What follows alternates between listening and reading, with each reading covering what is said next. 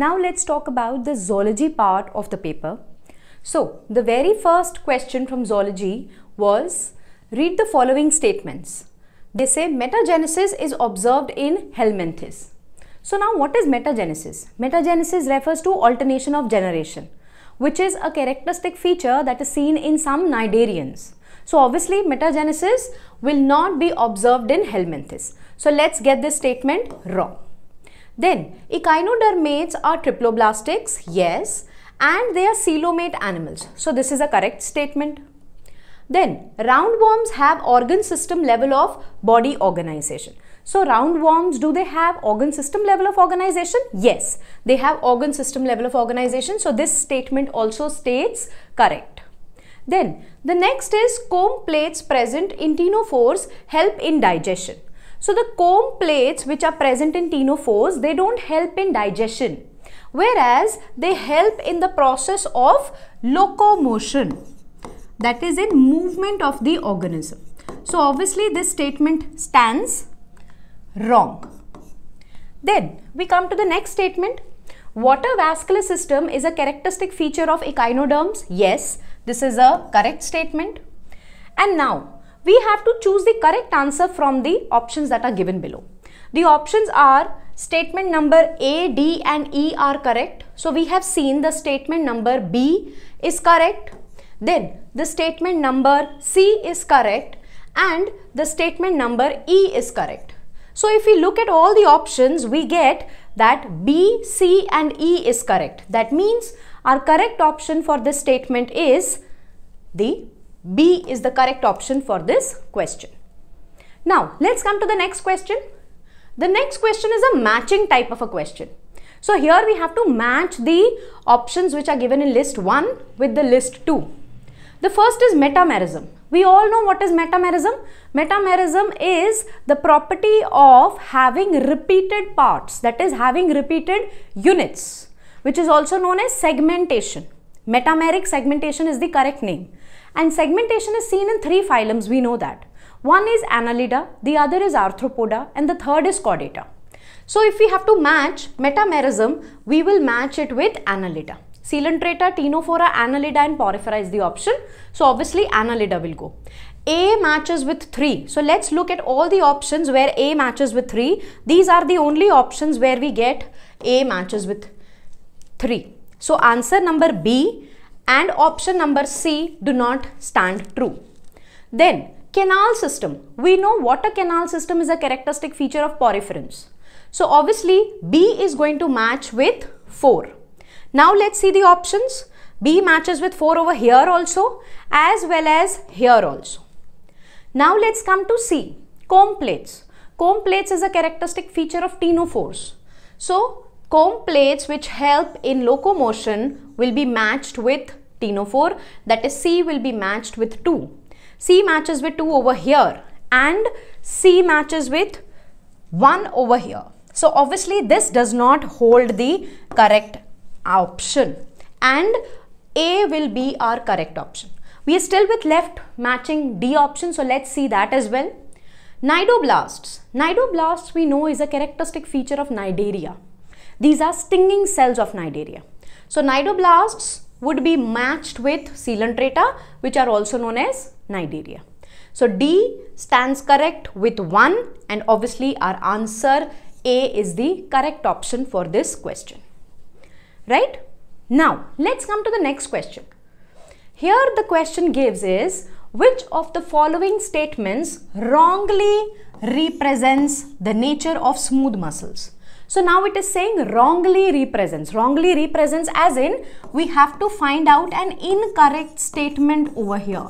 The statement which is not correct. So come, let's read all the statements now. Communication among the cells is performed by intercalated discs.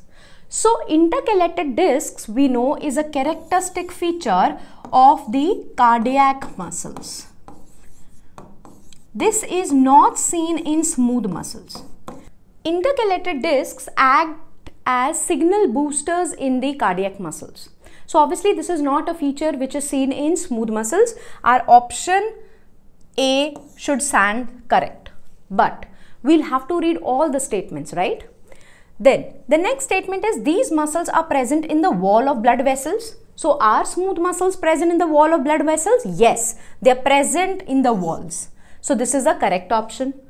Then these muscles have no striations. Yes, we know the smooth muscles are known as smooth because they are not having any type of striations. They are also known as unstriated muscles. They are also known as unstriped or non-striped muscles. So obviously this statement holds true. Then they are involuntary muscles. Obviously these muscles are not under the control of a human's will. So this statement again is correct we are just having one statement that is wrong and in the question we had to find out an incorrect statement. So obviously our answer to this question will be A option. Here it is. Now let's come to the next question. The centriole undergoes duplication during. So centriole duplication is a characteristic feature that we see in the S phase. S phase has two characteristic things. Number one is the duplication of centriole and the second is the doubling of the DNA or the genetic matter. So first option that is metaphase obviously is wrong, G2 phase wrong, S phase correct and prophase wrong. S phase you should remember which is a phase of interphase. Here we should remember that two main characteristic things are happening. Number one, the doubling of DNA is taking place and second important point is the doubling or we can say the duplication of centriole as well. So very simple question and the answer to this will be C. Now let's come to the next question. So, with regard to insulin, we have to choose the correct option. We have to find out the correct options with respect to insulin. Now, let's read the first statement. C-peptide is not present in mature insulin. So, what is a mature insulin? This is a picture which will help us in understanding it more. Now, insulin in our body is released in a pre-insulin form. Pre-insulin form as in it is having three peptide chains that is it is having a A peptide chain, it is having a B peptide chain as well as it is having a C peptide chain. Now when this proinsulin changes into insulin in our body then it causes the removal of the C chain. So this is the mature insulin that is present in our body. And mature insulin as we can see is present only of A peptide as well as B peptide and the C peptide chain is just left over. So now let's read the statements. C peptide is not present in mature insulin. So obviously this is a correct statement. Then the insulin produced by recombinant DNA technology has a C peptide. So recombinant DNA technology that was done by a company known as Eli Lilly, they separately extracted the A chain as well as the B chain and then they facilitated the fusion of both these chains. So obviously by recombinant DNA technology, the C chain was not produced. Then the proinsulin has C peptide. Obviously this is a correct statement as we have just seen. Then A peptide and B peptide of insulin are interconnected by disulfide bridges. Yes. So these type of bridges, the disulfide bridges connect the A chain as well as the B chain. So obviously this is a correct statement. Now we have to choose the options of the correct statement. We have seen the statement number A is correct. We have seen statement number C is correct and statement number D is correct. So out of all the options A, C and D only are the correct. B holds true. B holds false. So the correct option for this question will be A. Now let's see another question. This is again a matching type of a question and this question is from chapter number 4 reproductive health of class 12th. Now here they are asking we have to match Vaults, IUDs, vasectomy, tubectomy. We know what is Vaults. Vaults are those substances, those devices which prevent the entry of sperms into the uterus.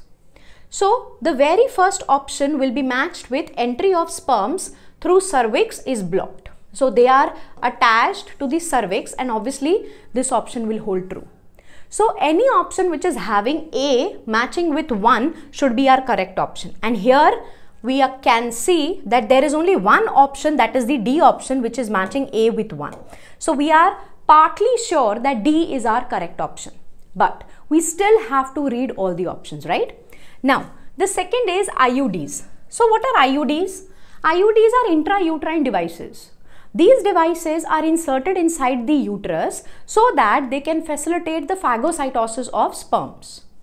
Now, so obviously out of all these options, the B can be matched with third option.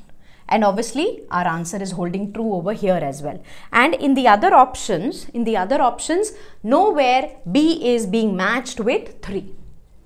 Then vasectomy. Vasectomy is the cutting and removal of some part of the vas deferens. So C will be matched with 2. And as we see, the option D is matching C with 2 and D is matched with 4. So D refers to tubectomy and tubectomy is a similar type of a process which is seen in females. Here a part of the fallopian tube is cut and removed. These both processes, the vasectomy and tubectomy are sterilizing processes which help in preventing pregnancy.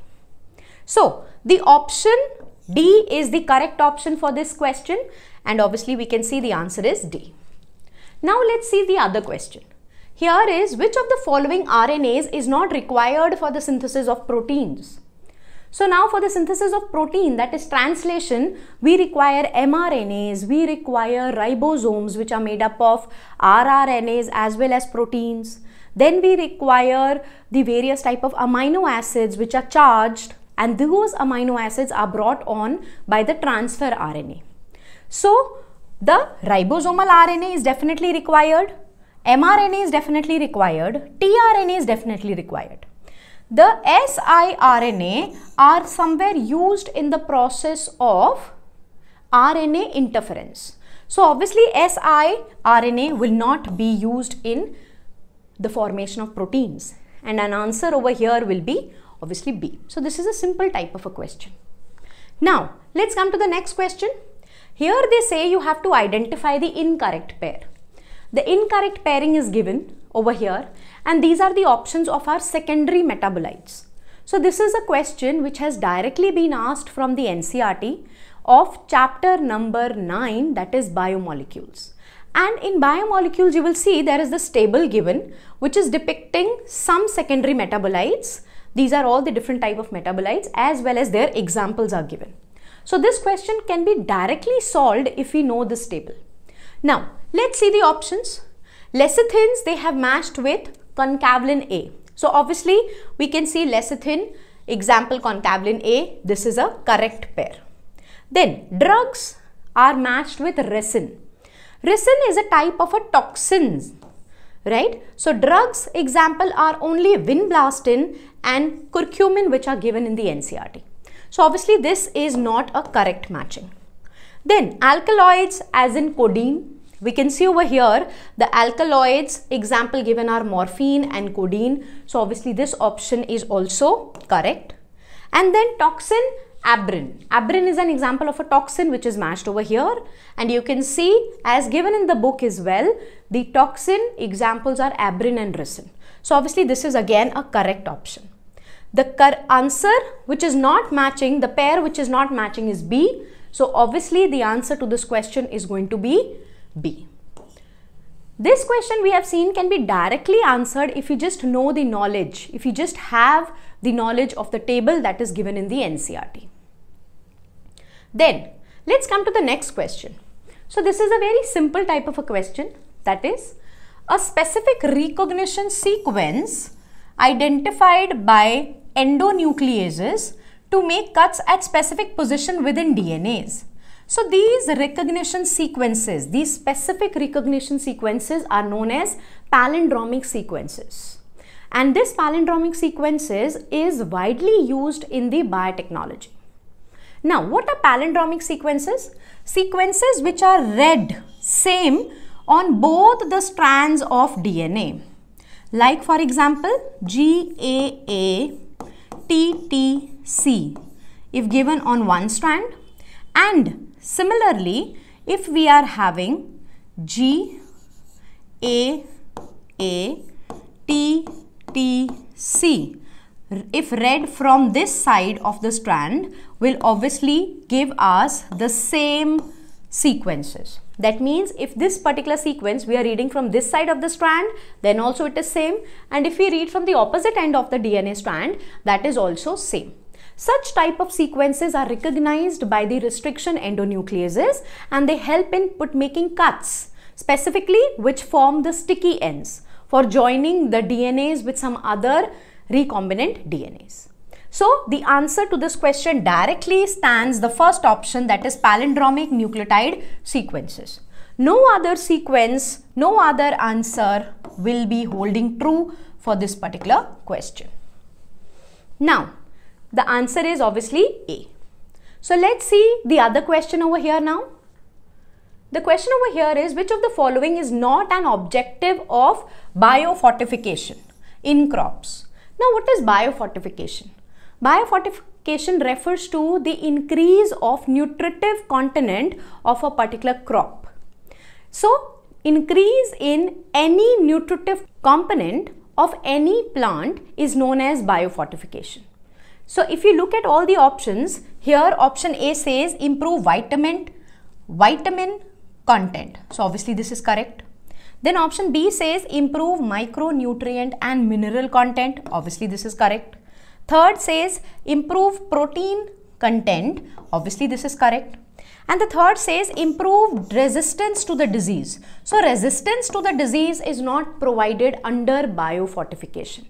And obviously the option D will be the incorrect option and this is not the objective of biofortification. So our answer over here will be D. So these were some questions of zoology. In the next video, we will take up the next set of 10 questions and discuss them.